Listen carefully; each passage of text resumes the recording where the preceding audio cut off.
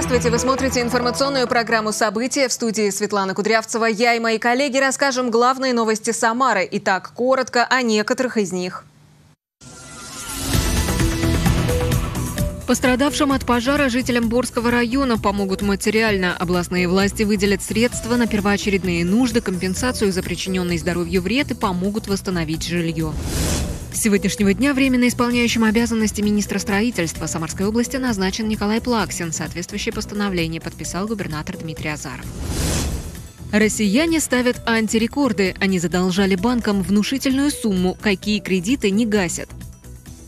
Пострадавшим в крупном пожаре, который произошел в выходные в Борском районе Самарской области, окажут материальную поддержку. Об этом рассказали в Министерстве социально-демографической семейной политики региона.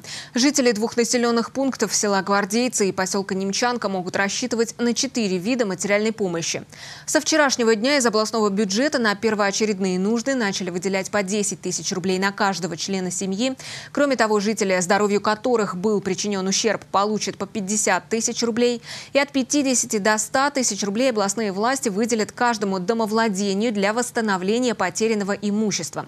Заявление на этот вид помощи написали 13 человек. Кроме того, из областного бюджета выделят дополнительные средства тем, кто постоянно проживал в Гвардейцах и Немчанке и остался без крова. Для того, чтобы э, решить эту проблему, принято решение выплатить денежные средства на восстановление жилья и на э, социальная выплата будет на приобретение жилья. То есть у нас получается, что мы оказываем а, четыре различных вида помощи тем людям, кто пострадали при пожаре. Сумма выделяемых на восстановление и приобретение жилья выплат рассчитывается исходя из установленных в Борском районе нормативов. То есть за основу возьмут стоимость квадратного метра на одного человека. Нормативно-правовой акт о денежных выплатах будет подписан до конца этой недели и уже со следующей средства начнут поступать пострадавшим. Временно исполняющим обязанности министра строительства Самарской области назначен Николай Плаксин. Соответствующее постановление подписал губернатор Дмитрий Азаров. До этого назначения Плаксин в течение пяти лет возглавлял Московское АО «Волготрансстройметро». За это время возвели станции Московская, Российская и Алабинская Самарского метрополитена. Кресло министра строительства стало вакантным весной этого года, когда его покинул Евгений Чудаев. Вслед за ним ушел в отставку главный архитектор и первый замминистра Анатолий Баранников и в июне подал в отставку в Рио главы ведомства Сергей Печушкин. За сутки в Самарской области зарегистрировали 434 случая заражения новой коронавирусной инфекцией. Общее число заболевших в регионе 87 156. До 1 ноября в Самарской области планируют привить 80% взрослого населения. Об этом говорили на оперативном штабе по предупреждению распространения коронавируса. Какие решения еще были приняты в нашем сюжете? В больницах Самарской области на лечении сегодня находится 3446 пациентов с коронавирусом и подозрением на него. По словам министра здравоохранения Армена Беняна, у 90% пациентов течение болезни средней степени тяжести, 55% пациентов кислородозависимы, поэтому почти на тонну за неделю увеличился среднесуточный расход кислорода. Свободный коечный фонд 11,5%. Что касается амбулаторных пациентов, то им проводится своевременная диагностика, обеспечение лекарств лекарственными средствами мониторинг состояния. Утверждаю, что проблем с обеспечением нет. Э, большинство проблем связано с какими-то нарушениями э, логистики. Имеется достаточный запас лекарственных препаратов. Э, ожидаем следующей поправки бюджета еще около 70 миллионов рублей. На прошлой неделе немного снизились темпы вакцинации. Сейчас привиты 983 тысячи человек. Из них свыше 828 тысяч завершили вакцинацию. На данный момент от плана, который составляет 60% взрослого населения, которое необходимо привить до 1 сентября, выполнено 63%. К 1 ноября необходимо привить 80% жителей старше 18 лет. Сейчас понятно, э, есть особая, наверное, э, ситуация общественно-политическая. И мы достаточно мягко к этому подходим, и пусть путь будет длинный, но как бы это, наверное, э, это должно быть эффективно, но э, значит, и оправданно с точки зрения там, того, как люди воспри, воспринимают давление. Там, мы сейчас не можем допустить давления такого жесткого. На оперативном штабе было принято решение не проводить мероприятия численностью более одной тысячи человек. При этом специалисты Роспотребнадзора рекомендуют тщательно соблюдать все необходимые меры безопасности, в первую очередь масочный режим и социальное дистанцирование. Виктория Шара и события. В Самаре устраняют повреждения водовода в районе пересечения улиц Новосадовой и Советской армии. Порыв образовался на трубе диаметром 1200 мм, которая пролегает на глубине более 8 метров. Напомню, в минувшие выходные водовод повредила подрядная организация в процессе строительства двухуровневой развязки. Оперативно приняли меры по обследованию сетей, переключению потребителей на резервные схемы, начали земляные работы. По обращению жителей был организован подвоз питьевой воды. В частности, бойлер размещен возле дома номер 6 по улице Академика Платонова. Сегодня специалисты продолжали земляные работы, откачку воды после утечки, демонтаж поврежденного участка, после чего его заменят и водовод подготовят к использованию. Бригады трудятся в круглосуточном режиме. Об этом говорили на еженедельном совещании в Департаменте городского хозяйства и экологии под председательством первого вице-мэра Владимира Василенко.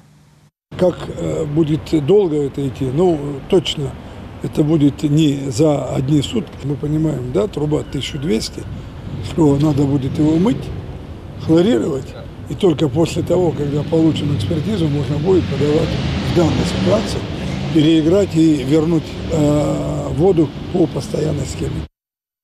Отбор проб воды для анализа и заключения о ее пригодности к использованию согласно требованиям государственных стандартов. На рабочем совещании обсуждали подготовку города к отопительному сезону. Владимир Василенко отметил, что в первую очередь сейчас необходимо закончить перекладку теплотрасс вблизи объектов социальной сферы, детских садов и школ. На этих объектах необходимо закончить все работы к 29 августа, в том числе по восстановлению благоустройства, нанесению разметки и установке дополнительных ограждений.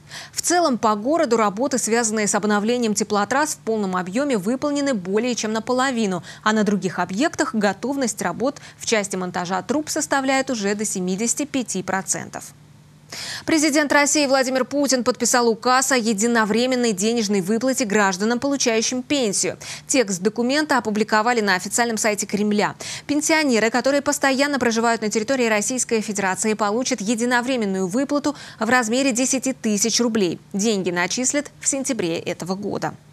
Эфир продолжит новости экономики. Расскажет о них Виктория Шара. Виктория, вам слово. Здравствуйте, Светлана. Здравствуйте, уважаемые телезрители. У коллекторов повысился процент взыскания. Россияне задолжали банкам рекордную сумму. По каким кредитам чаще всего удается взыскать деньги? Чаще всего по обеспеченным кредитам, ипотеке и автокредитам. А по каким займам сложнее, расскажу сразу после курса валют. Курс доллара на 25 августа 73 рубля 94 копейки. Евро 86 рублей 80 копеек. Нефть марки Brent торгуется на отметке 69 долларов 52 цента за баррель. Долги граждан по кредитам побили трехлетний рекорд, составив 311 миллиардов рублей за полгода. Кредитные учреждения передали коллекторам для взыскания просроченную задолженность. Эта сумма на 14% больше, чем была в 2020 году. При этом собираемость долгов улучшилась. Среднемесячная эффективность взыскания по банковскому агентскому портфелю за указанный период составила 18%. Самая высокая эффективность взыскания за полгода зафиксирована по обеспеченным кредитам, по автокредитам 35%, ипотеки 30%, а самая низкая эффективность в сегменте кредитных карт 6%. Правительство выделит в текущем году полтора миллиарда рублей из федерального бюджета производителям программ для развития искусственного интеллекта. Премьер-министр Михаил Мишустин утвердил правила предоставления такой поддержки. Субсидии получат разработчики аппаратно-программных комплексов в рамках госпрограммы развития электронной и радиоэлектронной промышленности. Поддержку смогут получить проекты, которые будут реализованы в течение шести лет. Размер субсидии составит до 500 миллионов рублей в год. То есть один разработчик сможет получить до 3 миллиардов рублей на один проект. Субсидии будут выделяться по итогам конкурса. Порядок проведения конкурса определит Минпромторг. Центробанк хочет ограничить допустимое время, в течение которого приложения и другие сервисы банков могут быть недоступны строго двумя часами. Согласно положению, которое разрабатывается, не более двух часов могут быть недоступны процессы, связанные со вкладами, переводами, открытием и ведением банковских счетов, операциями на финансовом рынке, кассовыми операциями и онлайн-сервисами дистанционного обслуживания, а также с идентификацией по биометрическим данным. Крупным банкам с активами более 500 миллиардов миллиардов рублей дается всего полчаса на восстановление процессов, обеспечивающих размещение, обновление биометрических и персональных данных в единой биометрической системе. О выявленных инцидентах операционной надежности, принятых мерах и проведенных мероприятиях банки будут должны информировать Центробанк. Это были новости экономики. Контролируйте ваши финансы. В России начали действовать новые правила прохождения техосмотра и покупки полисов ОСАГО. Теперь они не привязаны друг к другу. Полис обязательного страхования можно приобрести без документа о прохождении ТО. При этом страховщики имеют право обратиться в суд и взыскать с автовладельца потраченные средства. Подробности в сюжете. Для получения полиса ОСАГО водителю не придется предоставлять диагностическую карту и подтверждать прохождение техосмотра. В России вступил в силу соответствующий законопроект. Заработал он с 22 августа, но приобрести полис по новым правилам можно будет только с 29 числа. По оценке Банка России, это позволит упростить процесс заключения договора обязательного автострахования и сделает процедуру доступнее. Ну а по мнению самих водителей, упростит им жизнь. Конечно, для легковых автомобилей это будет нормальным, потому что любой водитель, управляющий своим транспортным средством, он э, будет э, следить за своим, за своим техническим состоянием автомобиля. И э, что немаловажно, что сейчас, на сегодняшний момент, да, технический осмотр на новых автомобилей, оно все входит в гарантийный, гарантийное обслуживание. Водители смогут сэкономить как время, ведь только на сам техосмотр уходит в среднем час-полтора, так и деньги. Не секрет, что многие проходили осмотр автомобиля фиктивно, поэтому наличие техосмотра чаще всего не гарантировало надлежащей проверки машин. Несмотря на то, что автовладельцы восприняли нововведение позитивно, есть и подводные камни, рассказывают эксперты. Страховка без диагностической карты в некоторых случаях может не сработать. Если раньше при заключении договора страхования вы на весь период страхования были обеспечены диагностической картой, то сейчас, наверное, многие автолюбители решат сэкономить и а, не будут проходить технический осмотр. Но э, следует отметить, что в законе имеется основание для так называемых регрессных требований. Если вы виновник ДТП и в случае, если на момент наступления страхового случая у вас отсутствует диагностическая карта или срок ее действия истек, то страховщик, выплативший страховое возмещение потерпевшему, он имеет право э, предъявить к вам, к вам требования о взыскании всех тех расходов, связанных с этой выплатой. Как рассказывают страховщики, регрессивные требования – популярная мера. Их и раньше часто применяли к тем, у кого истек срок действия диагностической карты. Сейчас огромная как бы, масса вот этих исков от страховых компаний своим э, владельцам полисов ОСАГО, у которых недействительные полисы техосмотра или они закончились до срока действия полиса ОСАГО. И э, предполагается, что будет дальнейшая доработка закона, в котором уже в тексте будет указано, что э, право на регресс у страховых компаний, оно останется только в отношении такси и коммерческого транспорта, если не будет, э, соответственно, пройден техосмотр. Впрочем, уже с марта следующего года техосмотр планирует сделать обязательным, а за его отсутствие хотят ввести штраф – 2000 рублей. Однако в этом вопросе пока нет единогласия. Светлана Кудрявцева, Максим Гусев. События. В Самаре стартовала акция «Внимание, первоклассник» для детей с ограниченными возможностями здоровья. Каждый из участников идет в первый класс и немного волнуется. Чтобы поддержать будущих школьников, городские власти устроили самый настоящий праздник с подарками. На нем побывала Ольга Хамракулова. Сюрпризы, загадки и викторины. В Самаре стартовала акция «Внимание, первоклассник», цель которой – оказать помощь и поддержку детям с ограниченными возможностями здоровья, поступающим в первый класс.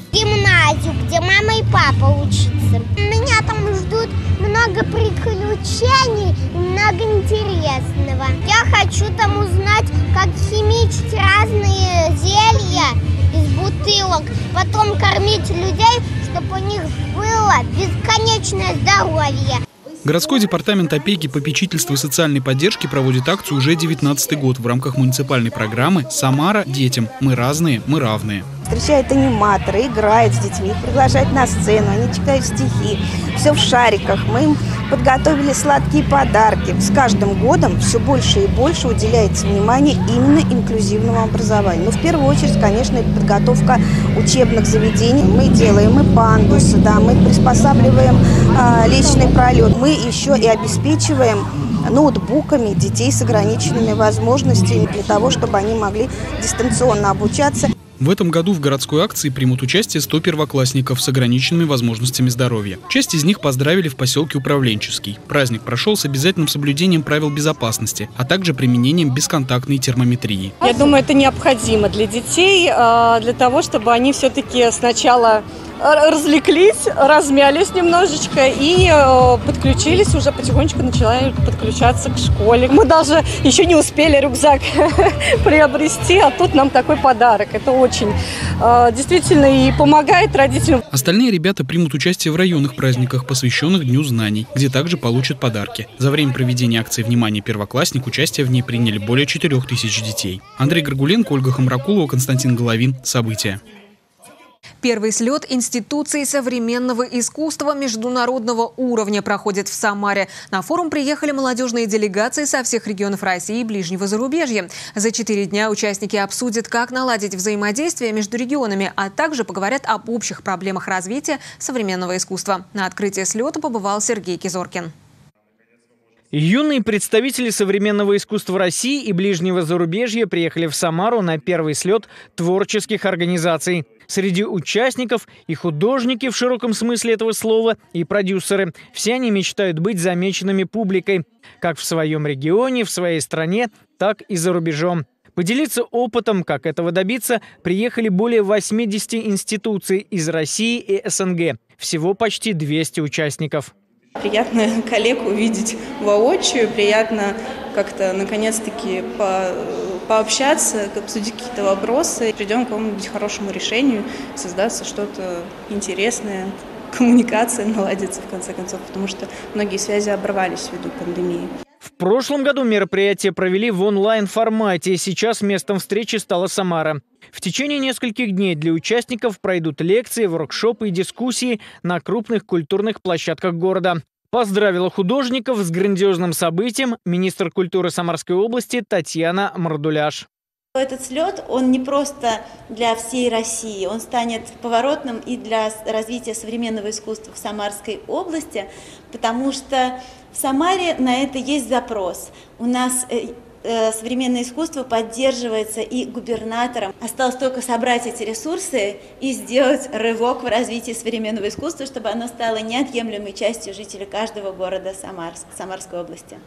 Профессионалы в области современного искусства обсудят, как привлечь спонсоров для реализации проектов и выстроить отношения внутри коллектива, а также как реализовать творческие начинания. Мы ждем какого-то всплеска, появления большего количества мастерских, э, художников, грантов, э, какой-то успешной коммерческой галереи и больших фестивалей или проектов, которые бы раз в год стягивали бы все внимание э, российской общественности именно к Самаре. Инициатором проведения форума стали областные власти. Для того, чтобы ну, быть в авангарде, быть впереди э, регионов и быть впереди, так сказать, планеты всей. И поэтому, конечно, очень отрадно видеть, э, когда э, наши какие-то самые космические идеи, самые сумасшедшие, они воплощаются в жизнь. И, честно сказать, от этого вот все счастливы. Это вот э, момент и пример именно консолидированной работы, которая приносит результаты и плоды. Кульминацией слета институции современного искусства станет концерт в формате шоу-кейс. Сергей Кизоркин, Максим Гусев. События. Театр «Самарская площадь» открыл 35-й юбилейный сезон. Впервые он начался с постановки гастрольного театра «Ателье» из Германии. На сцене поставили историю по сборнику рассказов Сергея Довлатова «Чемодан». О планах на эту осень артисты рассказали Марии Левиной.